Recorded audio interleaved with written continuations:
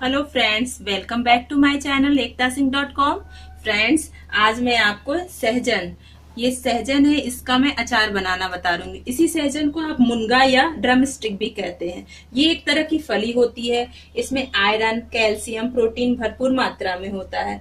ये हड्डी हड्डियों के लिए डायबिटीज़ के लिए ये, बहुत ही अच्छा होता है। फ्रेंड्स चलिए बनाते हैं सहजन का अचार।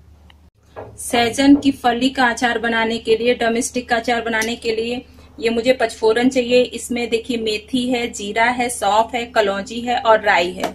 ये देखिए पीली वाली राई है, इसको मैंने दरदरा पीस लिया है। ये हल्दी पाउडर है, ये जवाइन है, ये हींग है और ये सौंफ है, सौंफ का पाउडर है, ये नमक है, ये तेल है और ये सिरका है व्हाइट विनेगर और ये लाल मिर्च है। चलिए बनाते हैं ड्रम स्टिक का अचार।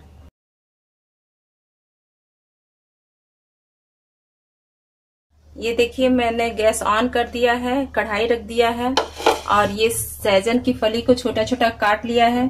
आप चाहिए, आपको अगर चाहिए तो पानी में उबाल के और आप इसको सुखा के तो भी आप रख सकते हैं। मैंने इसको सिर्फ़ धो के काट, कट करके एक घंटा के लिए धूप में रख दिया था।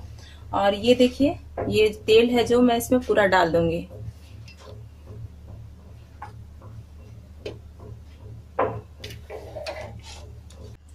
ये देखिए, मेरे तेल में से धुआँ निकल रहा है, अब मैं गैस ऑफ़ कर दूँगी। और गैस ऑफ़ करके अब मैं ये जो पचफोरा है ना, मैं उसको डालूँगी। और तेल ठंडा करके फिर ये सब चीज़ मैं इसमें मिलाऊँगी। ये देखिए, मेरा तेल अब ठंडा हो चुका है। अब मैं इस सैजन की फली को इसमें डालूँगी।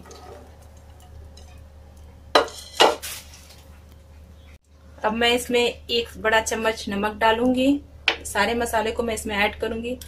एक बड़ा चम्मच लाल मिर्च पाउडर। और और इसमें ये राई, जो पीली वाली राई है, मैंने इसको दरदरा पीसा, वो एक बड़ा चम्मच डालना है। और ये सौंफ पाउडर डालना है, एक बड़ा चम्मच। और ये जवाइन है, आधा चम्मच। हल्दी पाउडर, आधा चम्मच। और ये जो हींग है, उसको पिंच भर डालना है और इसको ऐसे मिक्स करना है। देखिए, सारे मसाले अच्छे से मिक्स हो चुके हैं। अंत में मुझे ये जो सिरका है, इसको दो बड़े चम्मच मुझे इसको डालना है। वाइट विनेगर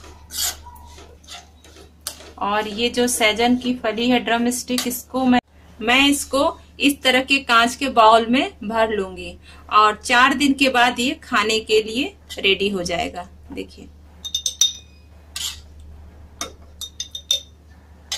ये देखिए, मेरा होममेड ड्रम स्टिक अचार तैयार हो गया है। लगातार चार दिन इसे धूप में रखने के बाद ये खाने के लिए एकदम रेडी हो जाएगा। फ्रेंड्स अगर आपको मेरा वीडियो पसंद आए तो प्लीज़ मेरे वीडियो को लाइक कीजिए, शेयर कीजिए और मेरे चैनल को सब्सक्राइब कीजिए। अगर कोई डाउट हो तो कमेंट बॉक्स पर कमेंट कीजिए। Thank you, friends.